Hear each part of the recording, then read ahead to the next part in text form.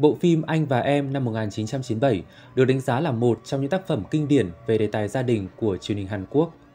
Phim lấy bối cảnh tại một ngôi làng ở cảng Ganggu, Yongteuk, một vùng quê ven biển yên bình nhưng cũng lắm bão tố, giống như cuộc đời của thủy thủ quá vợ Park Chae-chon và bốn người con, ba trai, một gái. Phim được đánh giá thành công nhờ các họa chân thực chân dung các nhân vật với những nét tính cách tốt xấu đan xen.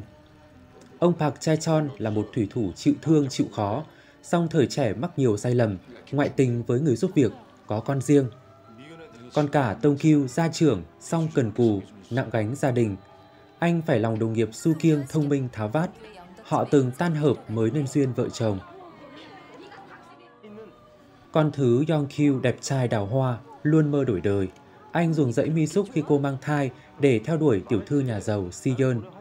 Sang ốc, con gái duy nhất của ông Park, thích sự phù phiếm, tham vọng làm nghệ sĩ. Cậu út Min Kyu, con riêng của ông Park, ít nói, có mối tình đau khổ với Si Yeon. Anh và em phản ánh cuộc sống khắc nghiệt trong giai đoạn Hàn Quốc và cả châu Á chìm trong cuộc khủng hoảng tiền tệ năm 1997, khiến mâu thuẫn gia đình bị đẩy tới đỉnh điểm. Đan xen các tình tiết kinh doanh thất bại là nỗi chán trường, mất niềm tin lẫn phương hướng của những người trẻ.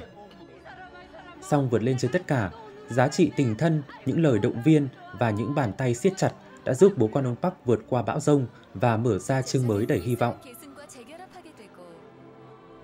Anh và Em là một trong những bộ phim có tỷ suất người xem cao nhất của truyền hình Hàn Quốc, tập cuối lên tới 66,9%. Bộ phim quy tụ những ngôi sao đình đám nhất những năm 1970, 1990 như Park Sang-won, Choi Chin-sil, Cha In-pyo, Song Seung-heon.